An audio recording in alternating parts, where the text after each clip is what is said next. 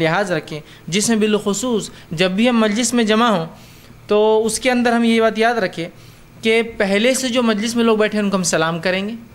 مثال کے طور پر دو لوگ بیٹھے ہیں، ظاہر سی بات ہے، مجلس کا معنی ہوتا ہے بیٹھنا۔ جلسہ یجلسون عربی زبان میں بیٹھنے کو کہتے ہیں۔ اسی سے جلسہ لفظ بھی آتا ہے، تو لوگ بیٹھ کر سن رہے ہیں کسی بات کو۔ تو مجلس وہی چیز جہاں لوگ بیٹھتے ہیں، ٹھیک؟ تو اب ایک سے زیادہ دو لوگ ہو گئے، آپ تیسرے داخل ہو رہے ہیں، تو پہلے سلام کریں گے مجلس میں۔ اس کے بعد جہاں جگہ میسر ہو، وہاں ہم بیٹھ جائیں گے۔ اور دو لوگ اگر ساتھ بیٹھے ہیں تو ان میں تفریق نہیں ڈالیں گے یا بلا اجازت ان دونوں کے بیچ میں نہیں بیٹھیں گے۔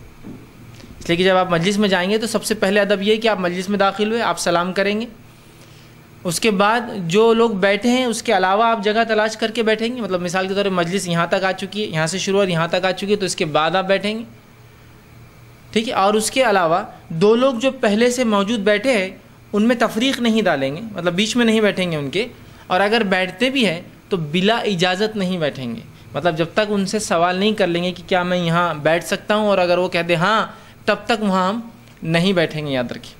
اور اس تعلق سے نبی اکرم صلی اللہ علیہ وسلم کی بڑے واضح جو ہے نصح ہے جس کو نصیحتیں ہیں جو امت مسلمہ کو آپ نے دی ادب اور اخلاق کے تعلق سے، آپ صلی اللہ علیہ وسلم فرمائے صحیح بخاری اور صحیح مسلم کی متفقہ علیہ روایت ہے، اور آپ نے فرمایا، لا لا يقيمن احدكم رجلا من مجلس مجلسه ثم يجلس فيه، ولكن توسعوا ولكن توسعوا او تفسحوا. آپ صلی اللہ علیہ وسلم فرماتے اور کہتے ہیں، تم میں سے کوئی شخص جو ہے دوسرے کو اس کی جگہ سے نہ اٹھائے۔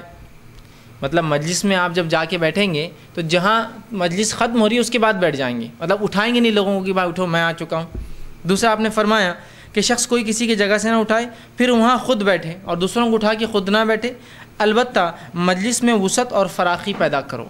مطلب مجلس جہاں تک جا رہی ہے، جہاں تک پہنچی ہے، ٹھیک اس کے بعد آپ کو بیٹھنا ہے۔ آپ آ کر کسی کو اٹھائیں گے نہیں مجلس سے کہ بھائی آپ اٹھیے۔ یا جو لوگ مجلس میں پہلے سے بیٹھے ہیں، کوئی دوسرا آدمی آئے تو اس کے لیے کوے مجلس والا بھی اس کو نہیں اٹھائیں گا، یاد رکھیے۔ اگر آپ کے لیے، کیونکہ آج کے زمانے میں دیکھیے، نبی اکرم صلی اللہ علیہ وسلم کے زمانے میں مجلسیں بہت جس کو کہیں گے، بہت زیادہ بڑی نہیں ہوتی تھی اور بہت ہی عام مجلسیں ہوا کرتی تھی۔ اس زمانے میں اتنے ساری چیزیں نہیں تھیں کہ مختلف مجالسیں مسجد کی مجلسیں آج محفلیں ہوتی ہیں، نکاح کی تقریبیں، بہت ساری مطلب اتنی مجلسیں ہیں اور مختلف قسم کی چیزوں میں مختلف کام ہم کرتے ہیں۔ تو اس بات کو ذہن میں رکھنا انتہائی ضروری ہے ہمارے لیے۔